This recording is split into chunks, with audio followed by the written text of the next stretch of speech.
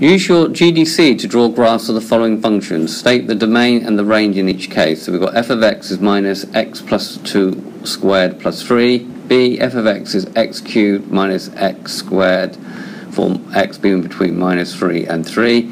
And c, f of x is equal to 3 to the power of 1 minus x. So, doing one by one. First one here is f of x is equal to minus brackets x plus 2 all squared plus 3.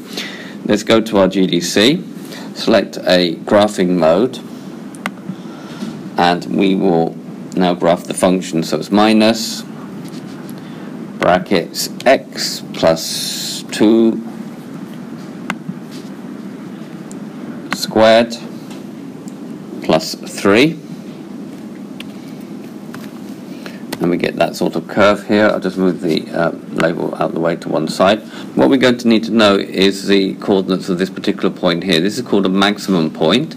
So on the GDC it's very easy to find. Go to menu, number 6, analyze the graph and then select number 3, maximum. You can do the same for a minimum as well. And go to the left, enter, and then to the right, enter. We'll just move that label above the top like that, okay?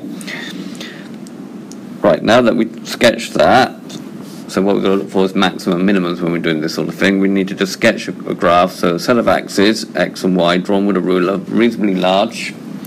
Draw on our curve, label it, f of x is minus x plus 2 all squared plus 3. Mark on the coordinates of that point, which is minus 2, 3. Now the domain is all the values you can put into the function. So we can put any value, any real number into that function. Though the graph ends here, it goes on evermore that way and forevermore that way.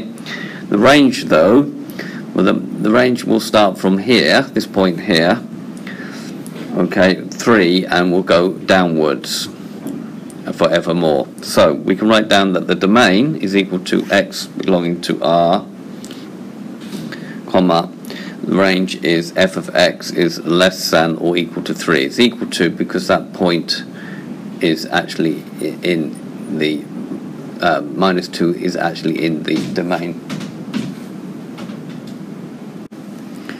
Okay, next one. f of x is equal to x cubed minus x squared from x being between minus 3 but not equal to 3. Okay, so what we need to do is we'll go and sketch that. So we'll just make a new window for uh, graphing. And we'll just sketch that. So it's x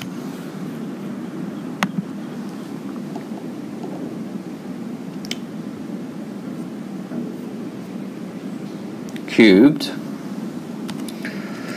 minus x squared. We won't bother about the restricting the domain, so we'll get a graph looking like that what we're going to do is set our window, our X window. So go to menu, window, and go to window settings. Alright, it's going to go a little bit more than I need. So it's minus 3.5. I wanted minus 3 and 3.5. I'm not going to do anything to the Y window yet, and press OK. And then I'm going to do one more zooming technique now. So menu, window zoom number 4, and then I'm going to go to zoom fit. Then what that does, it will fit the graph for the set of the x-axis that I've chosen.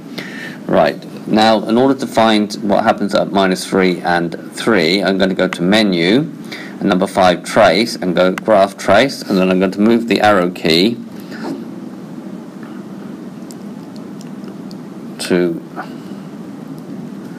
that point there, and take note there that uh, the y value is minus 36 okay and then I'm going to do the same again. Menu graph trace but this time go the other way.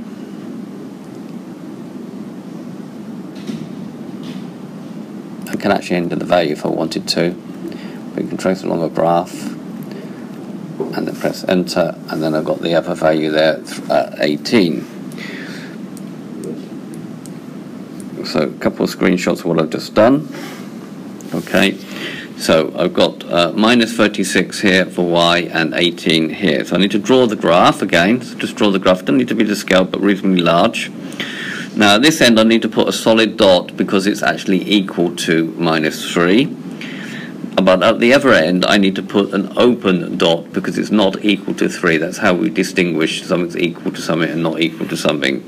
The domain, label the function, the domain will be all those values, closed dot here, open dot here, and the range will be from minus 36, which I got from here, to 18, what I got from here. That will be the range, but this has to be an open dot. Writing down the domain, the domain will be from minus 3 to 3, but not including 3. The range will be from minus 36, but not equal to 18, but less than 18. So it's very, very important that you distinguish that when you're doing this type of question. Right, to our final one. Our final one is f of x is 1 minus x. So we're going to go to our graph of that. So we just go to uh, menu here, go to graph, and 3 to the power of, that's that button, 1 minus x, press enter, and we get a graph looking like that. Now what's happening here, uh, this axis is getting very, very close to the axis, but it is not actually equal to the axis. So there's a screenshot, and here is my graph, to draw a graph. So what we've got here is what's known as an asymptote. We'll talk about that in a minute. The rate, the domain, I can put any value of x, both positive and negative, into that function.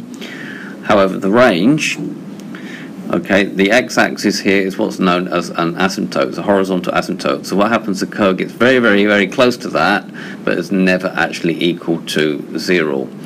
Okay, so this is called an asymptote. So my domain will have to be an open box here because it can't be equal to zero and it can go on forevermore up the y-axis.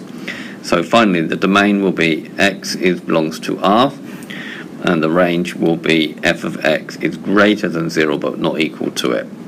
Okay, thank you very much for watching.